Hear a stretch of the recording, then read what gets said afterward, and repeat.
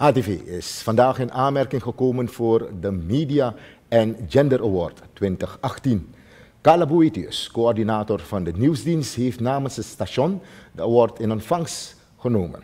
Het initiatief voor het uitreiken van deze prijs komt van het Gender Media Monitoring Project Team Suriname, GMMP Suriname. Het streven van dit project is Achieving Gender Equality in en through the news media. En dat is het verkrijgen van gendergelijkheid in en door nieuwsmedia. Om dit doel te bereiken heeft het GMMP-team Suriname gedurende 2 juli tot en met 15 eh, augustus dit jaar mediahuizen benaderd om de in 2017 voorgestelde Gender Media Code in hun beleid op te nemen.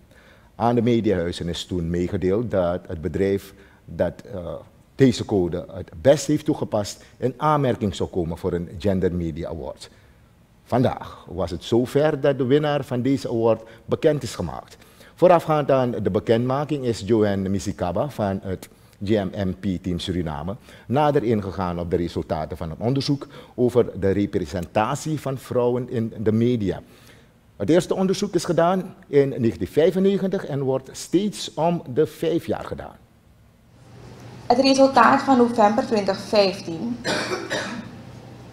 bleek dat ondanks vrouwen 50% deel uitmaken van de wereldpopulatie, dat ze toch voor 24%, maar voor 24% te horen of te zien zijn in de krant, op tv en op de radio. Het is niet iets waar we heel blij over moeten zijn, omdat het een beetje aan de lage kant zit. 24%. Waar streven we naar als we kijken naar de resultaten? We streven ernaar dat seksisme wordt verminderd in de media. Um, mijn collega Sandra Kledem zal daar verder op ingaan. Maar om nog te praten over de awarduitreiking. Als we kijken naar um, de cijfers. Suriname heeft in het onderzoek van 2015 23% gescoord. Dat is een beetje laag en we liggen dan ook nog onder het regionaal gemiddelde. gemiddelde. Wat betekent dat we eigenlijk acties moeten ondernemen zodat we in het, bij het onderzoek van 2020 betere scores hebben, een betere presentatie hebben van mannen en vrouwen.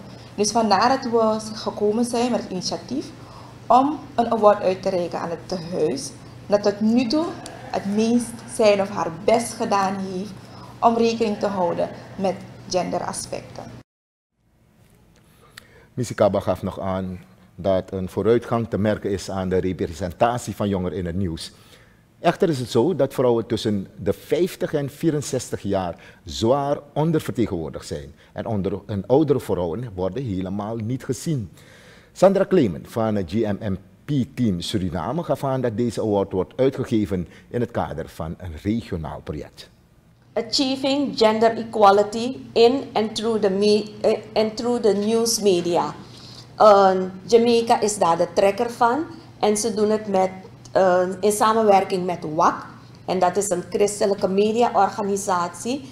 En uh, daar hebben ze fondsen voor gezocht om tenminste ervoor te zorgen dat er een award kan worden uitgereikt. Suriname is daar onderdeel van, omdat wij als vrijwilligers um, het heel erg belangrijk vinden dat uh, de representatie van vrouwen in de media zichtbaar is. We hebben allemaal benaderd. We hebben een persbericht laten doen uitgaan om te vragen van wie wil meewerken. En het resultaat is dat we om en bij 12 hebben gehad die hebben meegewerkt. Waarvan uh, bij televisiestations 6, de radiostations 4 en uh, bij de kranten zijn het ook 4 geweest. Online zijn er 0 mediahuizen die eigenlijk hebben aangegeven dat ze willen meewerken. Um, wij hebben eigenlijk het onderzoek dat men hanteert om de vijf jaren hebben we gebruikt om al deze mediahuizen uh, uh, eigenlijk we zijn nagegaan, wat doen ze? En we hebben daarvan gebruik gemaakt. En dat heeft geduurd van een periode van 28 juni tot en met, eerst hadden we gekozen voor 15 augustus. Maar soms merk je dat uh, mediahuizen soms dezelfde uitkomsten hebben. En dan denk je van, moeten we het even verlengen? Vandaar dat we bezig zijn geweest tot en met 25 augustus om te kijken van hoe wordt het nieuws gepresenteerd, wat wordt er allemaal in het nieuws gedaan um, om dan tot de resultaten te komen. Dat was dus Sandra Klemen van uh, Gender Media Monitoring Project Team Suriname. Dit team heeft uh, vandaag ATV uitgeroepen tot het mediahuis dat heel goed de Gender Media Code heeft toegepast in vooral haar nieuwsuitzendingen. Volgens Klenum zijn er drie mediahuizen uit de twaalf uitverkoren om in aanmerking te komen voor de award. Het was een nek-aan-nek race tussen ATV en Radio 10, terwijl het dagblad De Ware Tijd op de derde plaats is geëindigd. Renuka Giriasing heeft voor het radiostation een certificaat in ontvangst genomen. Het is een heel goed initiatief, ze moeten doorgaan ermee. En ik denk dat het een trigger is voor andere mediahuizen om ook hiermee door te gaan en om eigenlijk ook in onze voetsporen te treden van ATV en van Radio 10. We doen het goed, dus het moet doorgaan. Gefeliciteerd. Dankjewel, jij ook gefeliciteerd. Volgende keer is die award, is die award van mij. Ja. Dat was dus uh, media, onze collega Renuka Girya Singh van Radio 10, die op de tweede plaats is geëindigd. De Gender Media Award 2018 is gegaan naar ATV. Felicitaties.